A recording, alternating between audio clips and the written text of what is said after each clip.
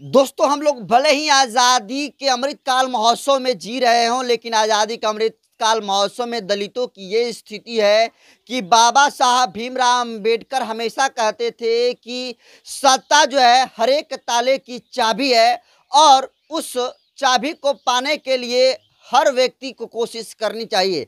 जिसके लिए बाबा साहब भीमराव अंबेडकर ने वोट देने का अधिकार दिया। लेकिन आपको बता दूँ कि देखिए पिछले कई दिनों से सोशल मीडिया पर एक वीडियो काफ़ी तेज़ी से वायरल हो रहा है। वायरल वीडियो में एक दलित समाज का कैंडिडेट नामांकन करने कौशाम्बी लोकसभा सीट पर के कलेक्ट्रेट गेट पर पहुँचते हैं तो वहाँ के डिप्टी जो एसपी होते हैं, उस व्यक्ति को धकेलते हुए बाहर का रास्ता दिखा देते हैं। आपको बता दूँ, देखिए जिस व्यक्ति का वीडियो सोशल मीडिया पर वायरल हो रहा है, उस शख्स का नाम जो है छेदू चमार है और छेदू चमार जी पिछले 24 सालों से निर्दलीय चुनाव लड़ रहे हैं और इस बार भी कौशाम्बी लोकसभा सीट पर निर्दलीय पर्चा दाखिल करने के लिए, नामांकन करने के लिए कलेक्ट्रेट गए थे, जहाँ पर डिप्टी एसपी सत्येंद्र तिवारी के द्वारा छेदू चमार को दुत्कार कर भगा दिया गया। सभी लोग के सामने अपमान करते हुए छेदी छेदू चमार को वहाँ से जो सत्येंद्र तिवारी है, वो उसे भगा दिया और छेदू चमार का जब ये वीडियो सोशल मीडिया पर वायरल हुआ, उसके बाद लोगों ने इस वीडियो को शेयर करते हुए अपनी अपनी रिएक्शन दिया। वैसे आपको बता दूँ कि देखिए, अब सत्येंद्र तिवारी को अब सॉरी अब आपको दोस्तों बता दूँ कि जो छेदू चमार हैं, उनका समर्थन अब आज़ाद समाज पार्टी भी कर दी है और अब छेदू चमार आज़ाद समाज पार्टी से ही कौशाम्बी लोकसभा सीट पर चुनाव लड़ेंगे। लेकिन आपको बता दूँ कि जिस तरीके से लोकतंत्र को शर्मसार करने का काम कौशाम्बी लोकसभा सीट पर किया गया है, उसको लेकर नेहा सिंह राठौर भी छेदू चमार के समर्थन में उतर गई हैं। जी हाँ दोस्तों, आप सही सुन रहे हैं।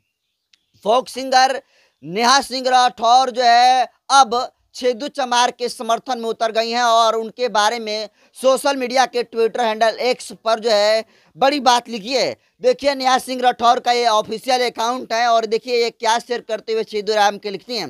ये लिखती हैं कि निर्दलीय दलित प्रत्याशी छेदू जी का नामांकन खारिज कर दिया गया है। दो दिन पहले इनके साथ नामांकन के दौरान पुलिस ने बदसलूकी की थी।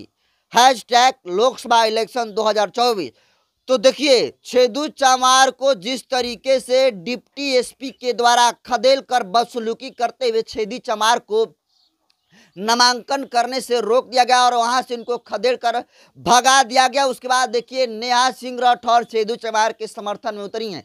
आपको बता दूँ कि देखिए, नेहा सिंह राठौर का संगीत के दुनिया में, पॉलिटिक्स के दुनिया में एक बहुत बड़ा नाम है। अखिलेश यादव अक्सर जो है जब प्रेस कॉन्फ्रेंस करते हैं तो नेहा सिंह राठौर का नाम ले लेते हैं। वो, उनका जो है गाना अक्सर आप सुने होंगे कि बिहार में काबा, इसके अलावा नेहा सिंह राठौर गाई थी कि यूपी में काबा, मध्य प्रदेश में काबा, और ये गाना जो है काफ़ी धूम मचाया था।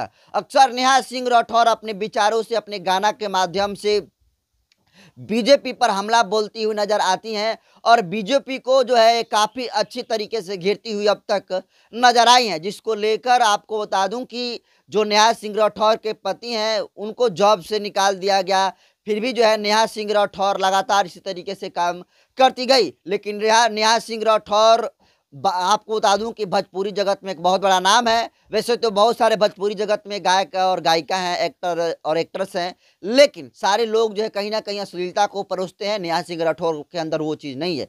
नेहा सिंह राठौर जो है बिल्कुल अश्लील मुक्त गाना गाती हैं और ये जो भी कुछ गाना गाती हैं, वो व्यंग और कटाक्ष से भरा होता है और वो व्यंग और कटाक्ष सत्ता पर सवाल खड़ा करता है। और वहीं सत्ता पर सवाल खड़ा करने वाली नेहा सिंह राठौर अब सेदू चमार के समर्थन में उतर गई है और सेदू चमार चमार के समर्थन में उतर कर उनके वीडियो को शेयर करते हुए कह रही हैं कि जिस तरीके से इनको नामांकन के नामांकन इकाई जिस तरीके से इनको खारिज करने का काम जो है उत्तर प्रदेश के जो इलेक्शंस कमीशन है वो वो, वो जो है ताक पर कर देख रहा है और जिस तरीके से वहाँ के डिप्टी एसपी के द्वारा वहाँ पर रिटर्निंग ऑफिसर के द्वारा इस, इस मामले को संज्ञान में नहीं लिया गया और सत्येंद्र तिवारी के द्वारा बेरहमी तरीका से सब लोग के सामने जिस तरीके से छेदू चमार को धकेल कर उनको मारने, मारते पीटते हुए बाहर का रास्ता दिखाया गया। कहीं ना कहीं ये लोकतंत्र को शर्मसार करता है। आज़ादी के छिहत्तर साल बाद भी आज़ादी पर ये सवाल खड़ा करता है कि अगर कोई व्यक्ति स्वेच्छा से संविधान स्वेच्छा से चुनाव लड़ सकता है जिसकी इजाज़त भारतीय संविधान भी देता है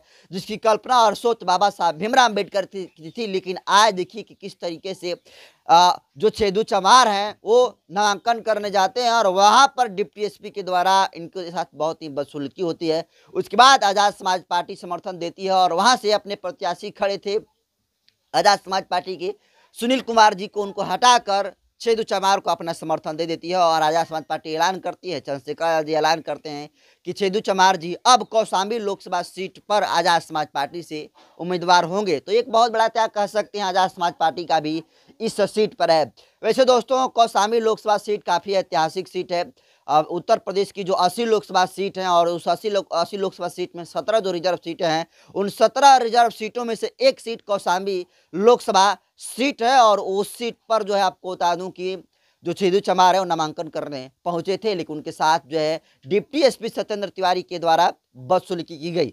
यही नहीं दोस्तों, आपको बता दूँ कि देखिए कौशाम्बी जो लोकसभा क्षेत्र है, जो धरती है कौशाम्बी की, वो गौतम बुद्ध की धरती है और एक बहुत बड़ा गौरवशाली इतिहास का रहा है। वैसे गौरवशाली इतिहास वाले धरती पर जो है, कहीं ना कहीं छेदू चमार को नामांकन से रोका जाता है तो ये कहीं ना कहीं लोकतंत्र की सबसे बड़ी हत्या मानी जाएगी। इसको लेकर तमाम लोग समर्थन किया और नया सिंह राठौर भी इसके समर्थन में उतर गई हैं। फ़िलहाल छेदू चमार को वीडियो शेयर करते हुए और समर्थन में जो नया सिंह राठौर लिखी है, उसको आप कैसे देखते हैं, कमेंट कर दीजिए। वीडियो जनतंत्र खबर के यूट्यूब चैनल पर देख रहे हैं तो चैनल को सब्सक्राइब कर लीजिए। फेसबुक पेज पर देख रहे हैं तो पेज को फॉलो कर लीजिए।